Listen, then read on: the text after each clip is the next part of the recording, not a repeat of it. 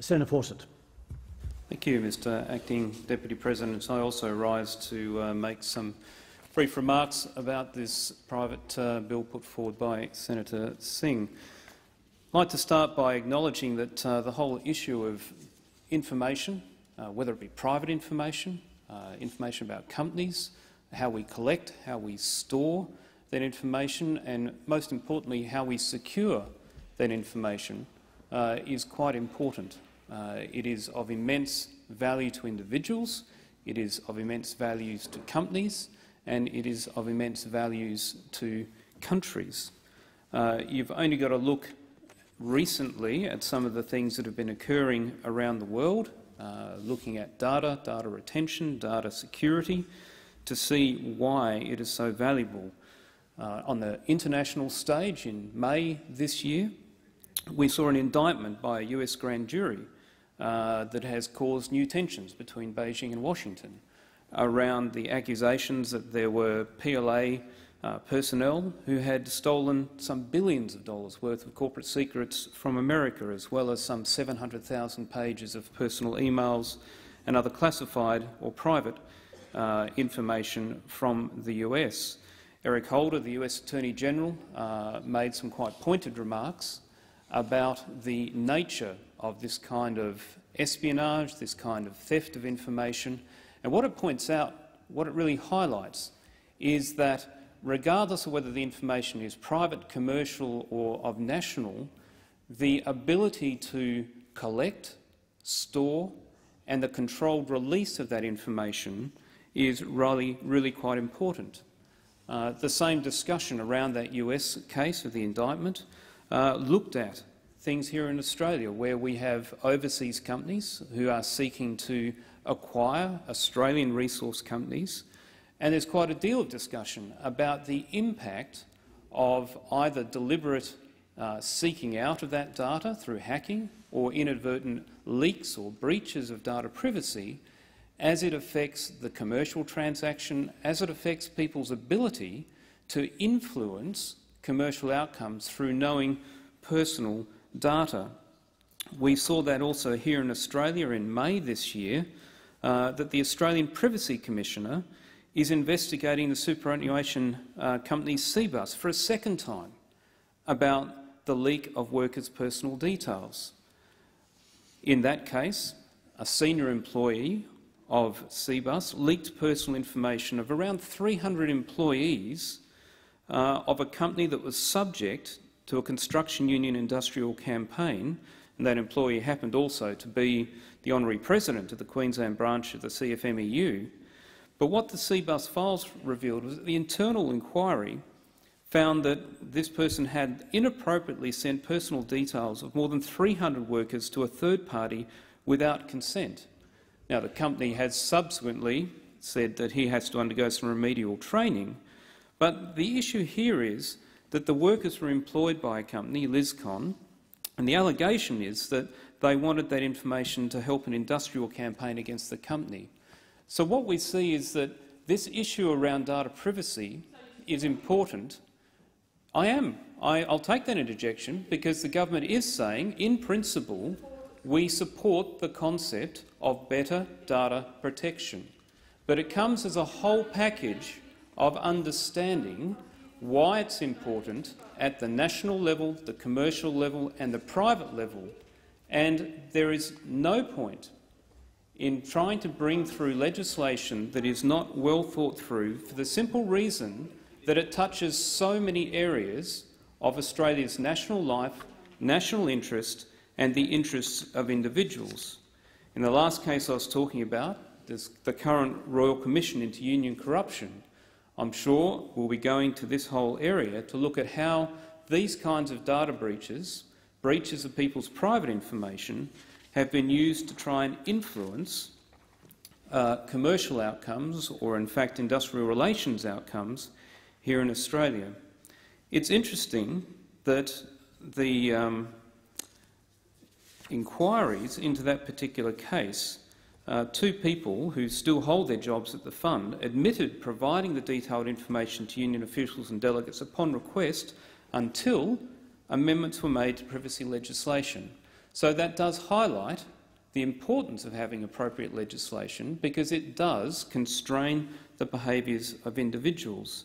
But what we also see is that there are some people who will seek to extract it, there are some processes that are poor enough that it is leaked inadvertently, and you will always still find, unfortunately, those people who are prepared for reasons for their own personal gain or the gain of an organisation that they are a member of to breach the requirements of legislation or, in fact, the rules of their own company uh, to leak information. So I think it's beyond doubt that it's important, and it's important that we have appropriate legislation.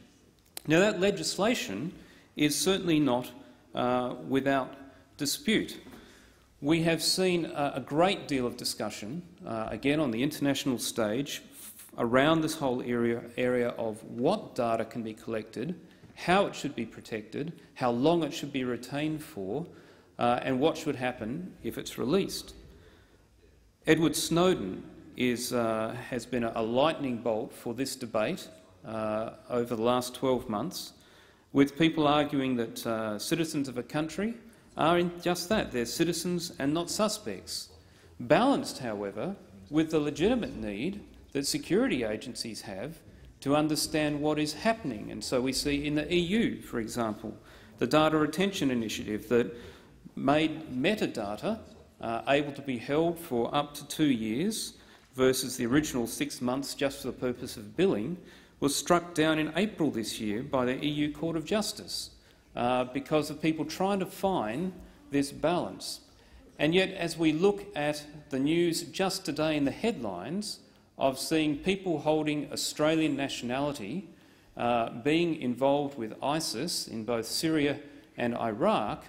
we recognise the importance of having appropriate data collected and held uh, by national agencies in the national interest, because the last thing we wish to see is people like that free to go, be indoctrinated in that kind of training, in those kinds of activities, and then to be able to come back to Australia and bring that kind of uh, mindset, that kind of worldview that sees that sort of violence as being acceptable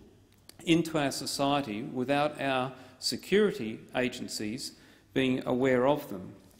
For that reason, one of the things that I do support in the bill that uh, Senator Singh has brought forward is the fact that there will be exemptions. And already in the Privacy Act, uh, in Chapter 33, it talks about some of the exemptions that already exists. Uh, there's a number of ways that entities can be exempt, either completely or partially from the Privacy Act. And under the existing law, they can be completely exempt from the information privacy principles. So broadly speaking, while those apply to all agencies,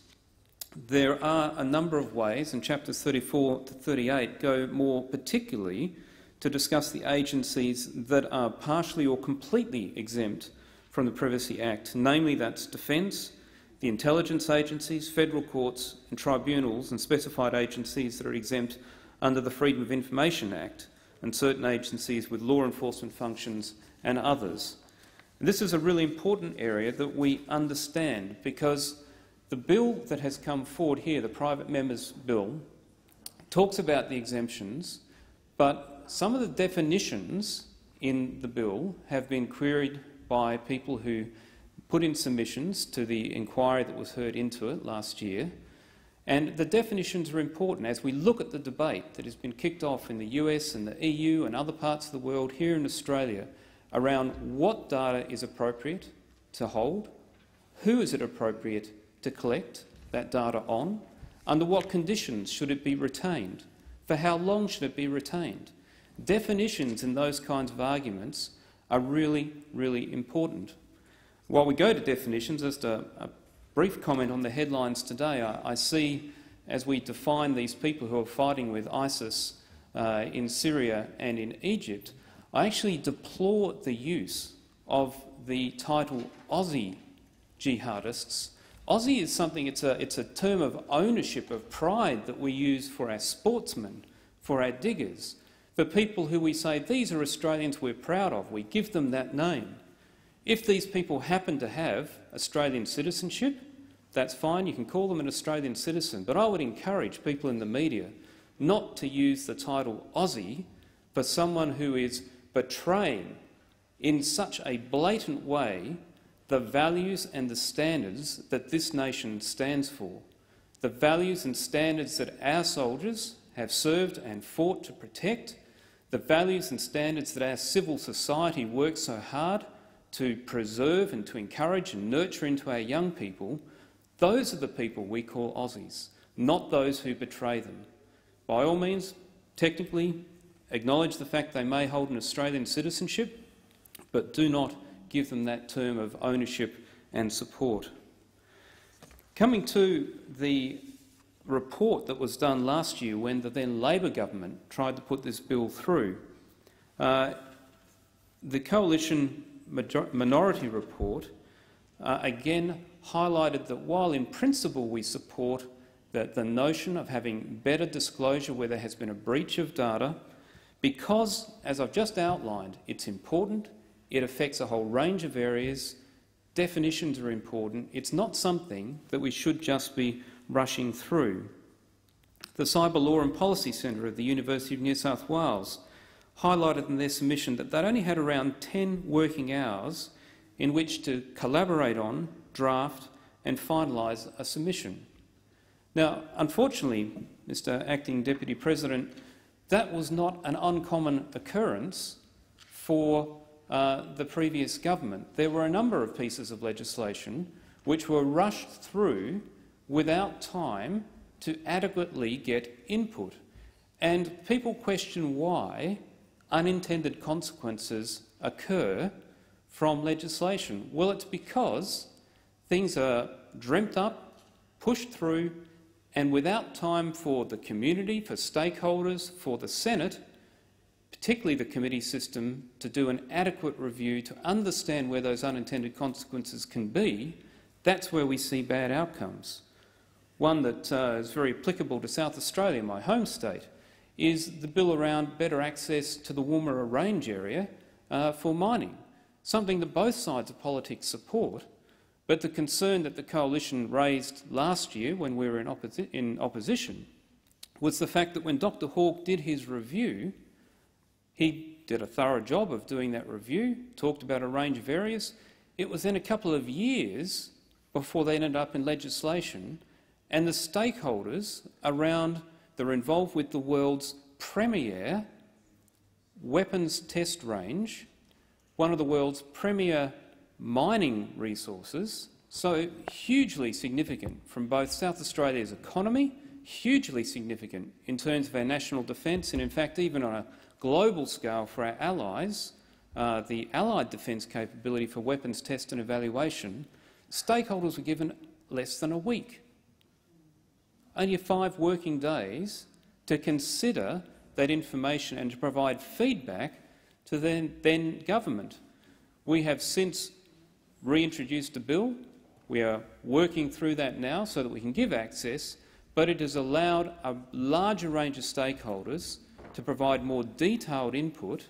so that we can get the arrangements right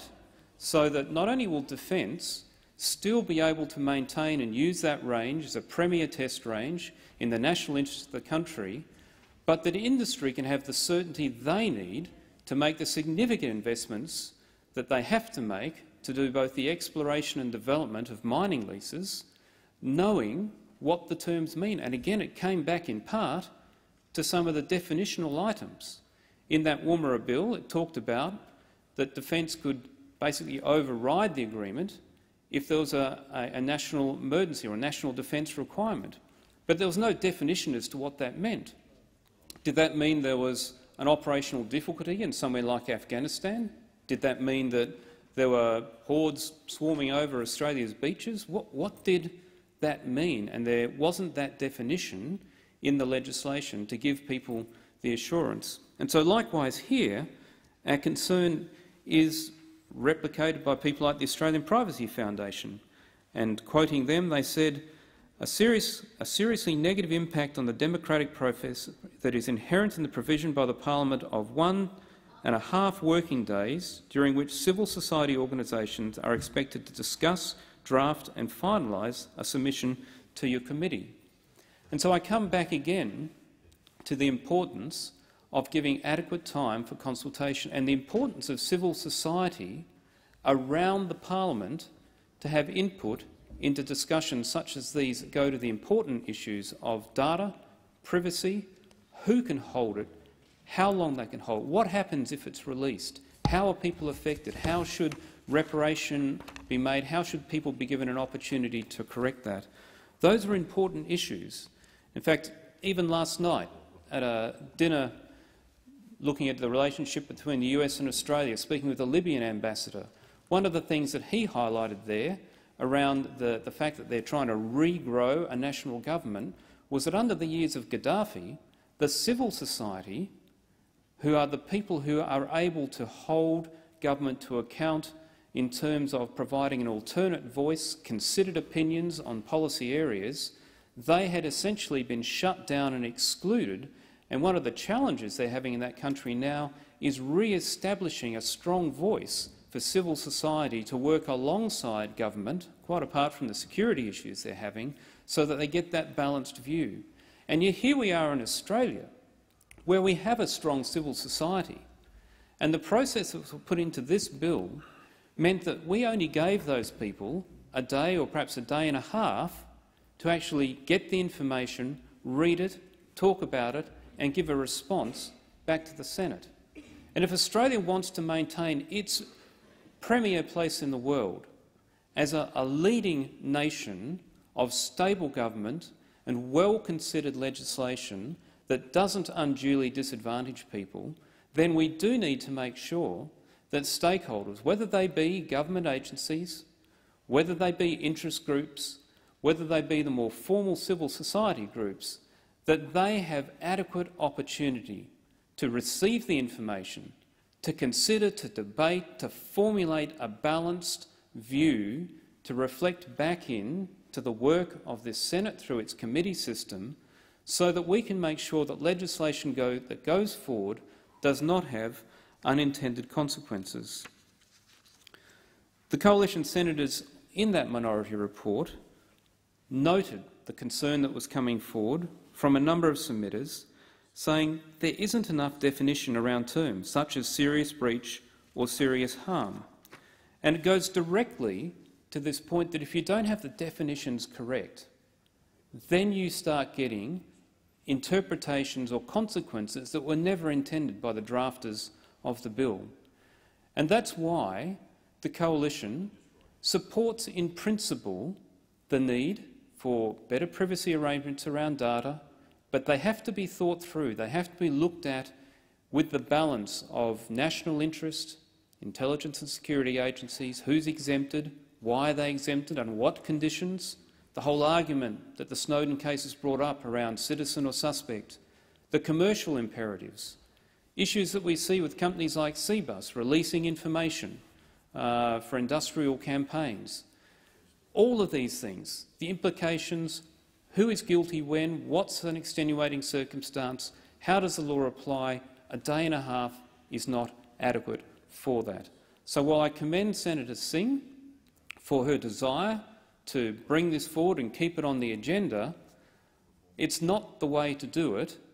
to actually just bring it in like this without actually consulting, advising the government, asking for why we actually can take an opportunity to reinstitute consultation with civil society, and Senator Singh is interrupting here yet again, but I come back to the point that if it's taken that long, and I'll take that interjection, if it's taken that long over five years, why was only a day and a half given to the stakeholders, to civil society, to actually have their input? That's the problem, Senator Singh, and through you, Chair, the problem is with things that are worked up through initial consultation, and we saw this again with the Hawke Review in Woomera, the work that is done only comes to a head when it takes form in legislation, and it's the wording in the legislation which is the culmination of all those stakeholder inputs that needs then the opportunity for review. The bare facts are discussed, but it's the form of the legislation, and particularly regulations that flow from it, that need the review, and that's the objection of the Coalition to this bill. We support in principle, but there needs to be a more considered input from the stakeholders, particularly civil society, before we would support moving forward with it.